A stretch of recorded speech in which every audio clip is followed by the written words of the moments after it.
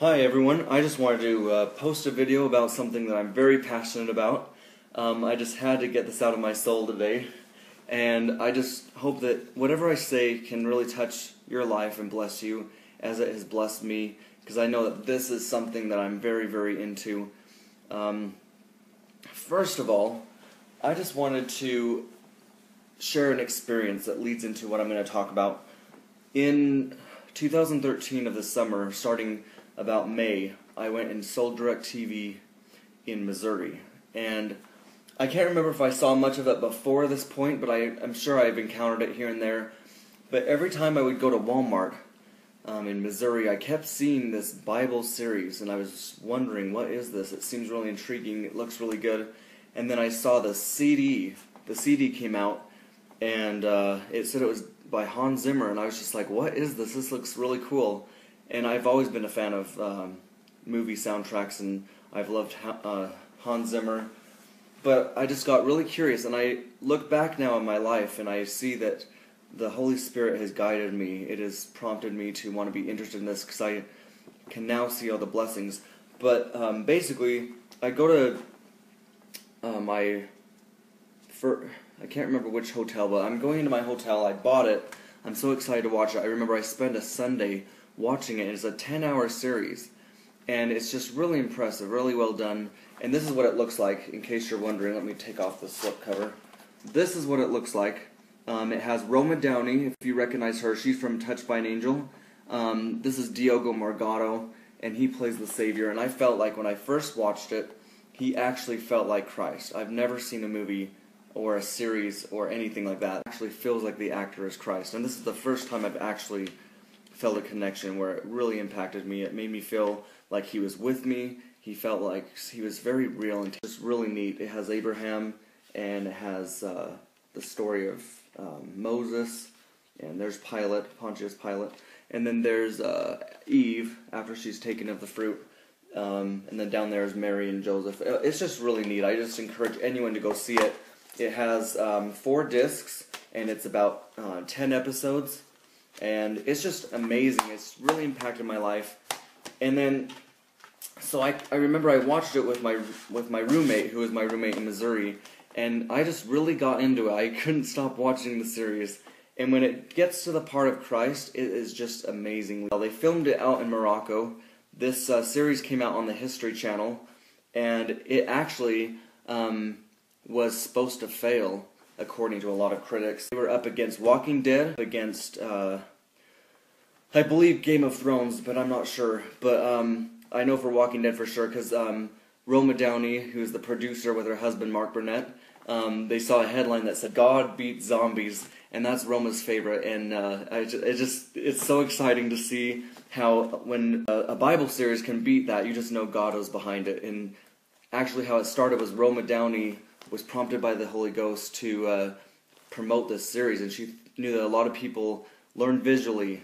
A, a lot of teenagers learn visually, and so she just whispered over to Mark and said, "Hey, we need to." get this on TV for people. This would be great to do a whole series. And he said, Well, let's pray about it. Are you sure you want to do this? So they prayed about it together, and then they shook hands and they never looked back. And it's been a big blessing to a lot of Americans. Over 100 million Americans watched it in 2013 on the History Channel. That is amazing. Then, after all that success, Roma said, while they were f- shooting the footage out in Morocco, this Jesus narrative is just unfolding so beautifully. We need to make it an epic movie so you can see it on the big screen. And so Mark was like, okay, let's do that. So they saved footage and they came out with Son of God. And Son of God is my favorite movie. I I can't think of a better movie about Christ. It's perfect for Easter, it's perfect for Christmas. I try to give it out as gifts during the holiday times. And it, Diogo Morgado is seriously the perfect Christ, in my opinion. I feel like he did the best job. He's so tender, he's so loving. It shows him waving to kids, it shows him getting down and making kids smile and touching their chin. It shows them waving at him, he's waving back. Um, he hugs Peter and he touches his face and he makes him feel very important and you just feel that love. Um, I don't feel like it's common to see an actor to portray Christ and to actually feel love. When you watch this, you really feel it. And it really got into my soul, and I love it with all my heart.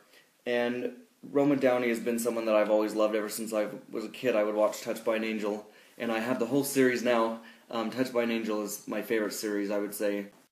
These are my other two favorites. And then, because of all the success with the Bible series and Son of God, it allowed Roma Downey and Mark Burnett to continue the sequel as a uh, AD.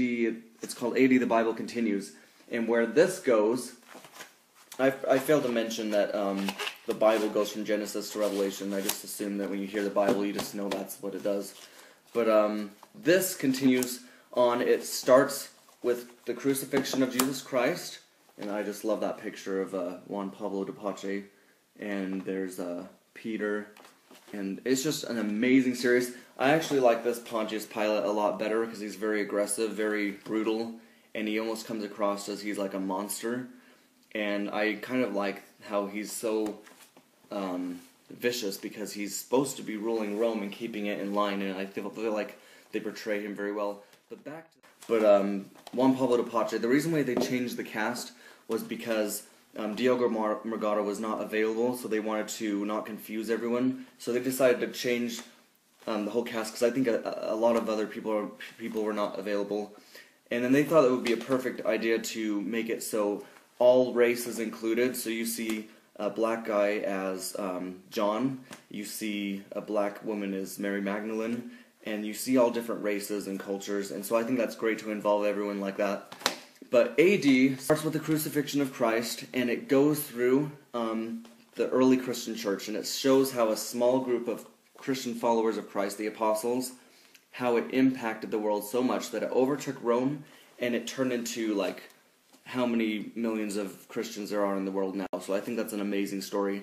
And what I really like about it is it doesn't skip stories in the book of Acts, and it actually encourages people to want to study the book of Acts. Because I know when I saw it, I got so excited that I just wanted to. Um, it's just like the words on the pages came to life. I saw Stephen, I saw Philip. I didn't know who Barnabas is, but now when I read Barnabas in the New Testament, I picture the face. And I know that this is not supposed to be like super accurate about who, um, what they dressed like, what they acted like. It's just to give you an idea and I just I one of my favorite parts in the story is Cornelius. Cornelius is a Roman soldier guard who is converted because of Christianity and how Christ affected him. An angel actually appears to him in the book of Acts, and he can, um, tells him the sins are forgiven. Or but I, I just really admired this story. It shows Ananias and Sapphira um, how they were cursed because they didn't give everything to the church. They held back some and that's a story that a lot of people don't know, and I just think it's so cool because I heard it when I was in seminary, and um, I just always thought it was an intriguing story because it's I just like stories that you don't hear very often. Anyway, so we have the Bible series, we have Son of God, and we have AD the Bible continues. I would very, very much encourage people to go out and at least try them. Um, it will change your life it has really impacted me a lot. It's brought me closer to the Savior than most media has, and it has made me feel a, a, deep love for Christ and for what He's done for the world. And I have a strong testimony that He is the Savior.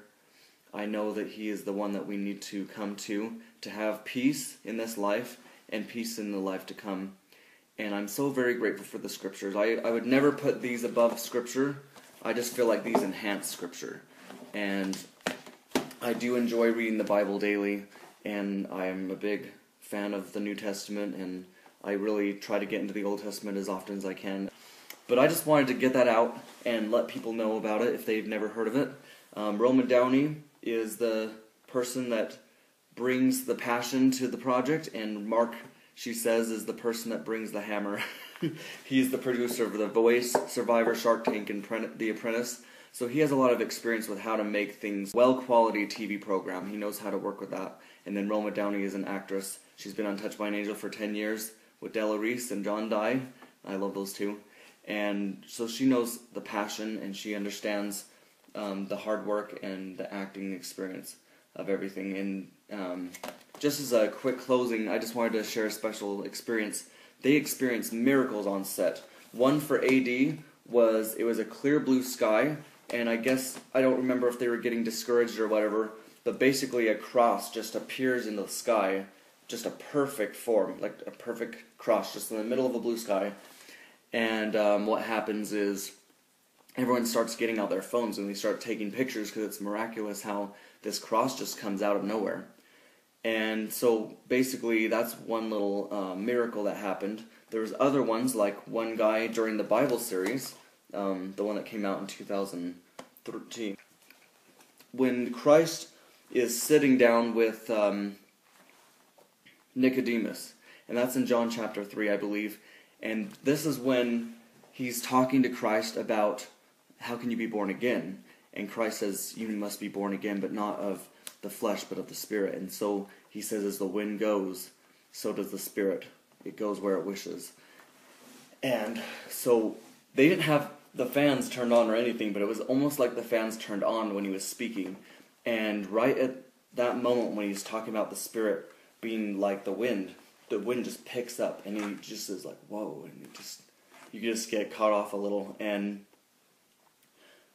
there's been miracle after miracle that just shows that God was leading Mark and Roma during this journey for the Bible series. I know that people can be inspired that if they have a heart that wants to glorify God, that if they want to do things um, that inspire the world and make it better, if they want to do His work, that the Lord does lead people and He does help them and assist them in their desires to do what's right. And I believe that's any religion. It doesn't have to be one specific religion. Um, I'm personally LDS, but I believe very strongly that other religions have just as much power and influence as the LDS Church does in spreading the Word of God. And I really, really personally believe that this media is number one, in my opinion, is number one. Out of all the media I've ever seen of any um, production or anything, it's better, in my opinion, than Passion of the Christ. It's better than a lot of the church films that I've grown up watching. I feel like Son of God, the Bible series, and AD the Bible Continues is really uh, a piece of work that is so fantastic that it's just done in a way that you've never seen before. And I just want to just share this with people, get them to be excited about it too. And um, I'm just very grateful. And I know that Roma Downey is someone that I will always admire and look up to. She actually stepped in and played the role of Mary in the Bible series but someone in the interview um, asked her, "So when you became an actress, like how did you you seem to do all these biblical themes like Touched by an Angel, Mary, the Mother of Christ, and you're doing the Bible series and Son of God. So what led you to this point?" And she said, "When I became an actress." And I decide which roles I wanted to take on and things like that. I used to look at a script and ask myself, would my own father want to see this? Would my parents be pleased with this? And then she said, by extension, I would ask, would my Heavenly Father want to see this? Would my Heavenly Father be proud? Would this be something that would be honoring to Him? And so this would be something that she would ask herself when she was stepping into roles. And I feel like it's unique because no one does that nowadays. No one cares about what God thinks, no one cares about what is honoring to their own parents. And I think that's sad, but I think it's amazing how while the world is going one direction, and I think that while everything's progressively getting worse with media and music, and television and movies, I feel like it's awesome how these are coming out. These are coming out in the midst of all of that. And it just shows that God is trying to redirect his children. He wants them to come back to his path. He wants his children to be happy. He wants to bring them home safely. And I know that he loves every single person and that we're all children of God. We all need the Bible. We all need God, whether we admit it or not. And I just wanted to share my testimony that I know that Mark and Roma were led by the Holy Ghost to do the work of God. And I know that this has impacted my life so much. And I just want to share it with everyone else and encourage them to give it a try. Give it a try. Don't be critical when you watch it. Of course, there's going to be imperfections. Maybe not everything is as accurate as possible, but you have to remember that they had 10 hours to shoot this series and to go from Genesis to Revelation. And to make it on TV, you have to take some liber- liberties here and there. Um, maybe the ages aren't exactly correct. Maybe the races aren't correct. Um, maybe the clothes aren't correct. Um, especially they don't use thee, thy, thou, and words like that. But they want to be able to reach out to all ages, including um, youth. So they want to be able to do it in a way that would be engaging. And I just want to leave and say that I'm very appreciative of this. If I haven't even said it enough, but um, I want to live like Roma Downey. I want to be a light. I want to be someone that produces goodness to the world and contributes. I want to be able to say when I'm dead um, that I've done my best, that I've at least contributed something worthwhile, even if it's just to my own future children or my spouse. I want to do something good in the world, and I will forever be grateful for Roma Downey and what she's done for me. She's really touched my heart through her revelation scenes and Touched by an Angel as Monica. She's done an amazing job, and I'll always be grateful for God putting me on earth at this specific time so I could be touched by this media. And I do say this um, in the name of Jesus Christ. Amen.